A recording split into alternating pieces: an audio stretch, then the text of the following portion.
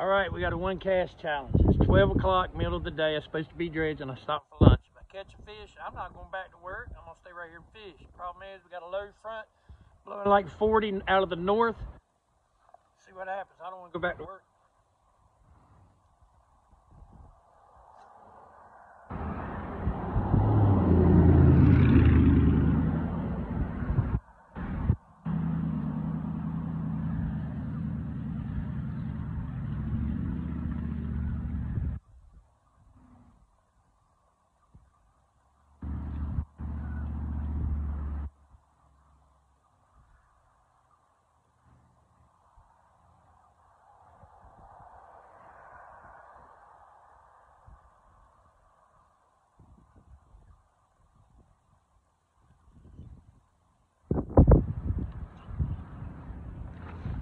Looks like I'm going back to work, boys.